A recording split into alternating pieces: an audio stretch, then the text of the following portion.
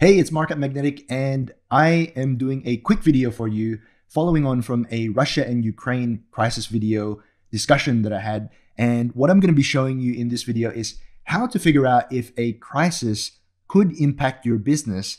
And what I'll do is I'll break down the steps into three stages so that you can learn how to anticipate and how to maneuver through an entrepreneurial roller coaster without falling off.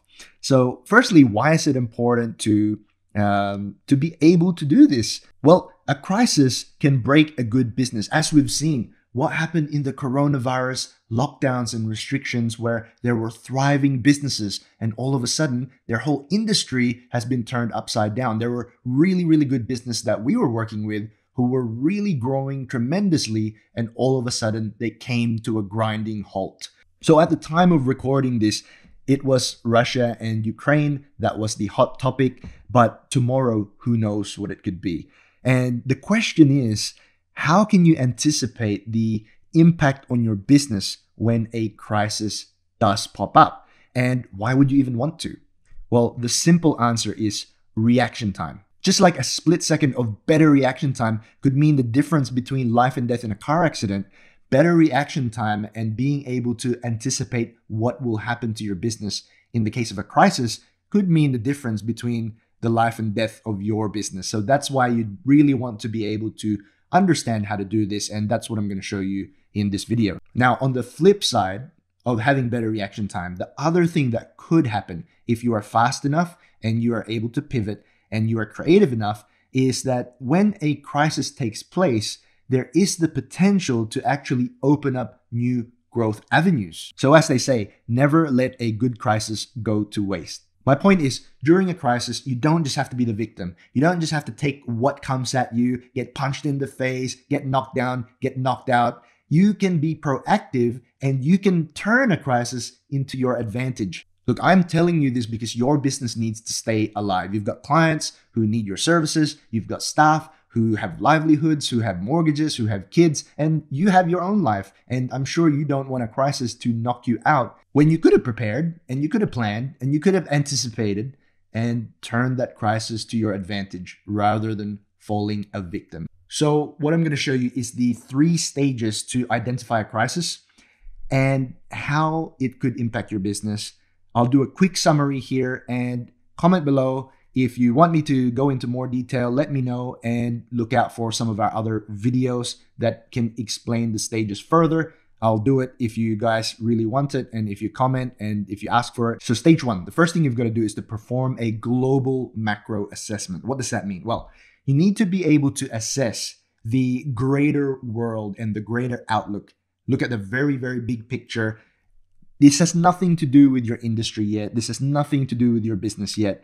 And what you want to do is scope out all the major changes that you think is going to happen based on the crisis on at the moment. So, um, things like what's going to happen to uh, global currency, global interest rates, global supply chain. For example, in the Russia and Ukraine situation, like I said, how will it affect currencies? Is it going to drive up oil prices? To what extent will it stop trade in any way? Will there be impacts on banks? Will there be impact on funding, travel? You want to take a look at what it's going to do in the wider economy, the wider world.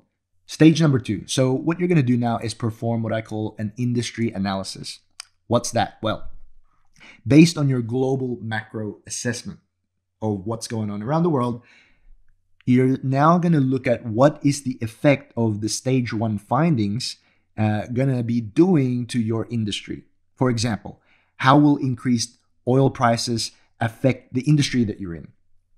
Will it cause shortages or supply chain breakdowns? Um, we all know that during COVID, uh, border closures have affected certain industries immensely. Uh, but could you tell that it was going to happen? Could you anticipate what it was going to do to your industry? Because while some industries practically shut down overnight and some suffered immensely in a short period of time. Some other industries actually boomed because of what was happening. Or there were some companies whose industry was in trouble, but because of a pivot, they were able to continue growing their business. The big thing that you're looking for is the risks and opportunities to your industry based on what is going on around the globe. Stage three. So now, based on your findings of stage one and stage two, what you'll do is you review the potential impact now of what is happening around the world, what's happening in your industry, and how will that specifically impact your business? What will happen to the prices for your goods or services?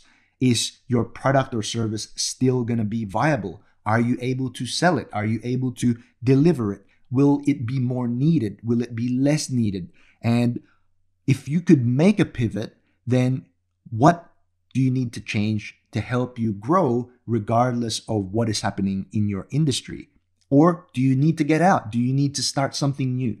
Those are the things that you will be able to anticipate ahead of time rather than waiting till it smacks you in the face and then you have to deal with it. So, just a couple more ideas. Um, will your customers be going broke? Will they be owing you money and um, leaving you with debt and leaving you in a position where you can't pay your expenses and your suppliers, your employees?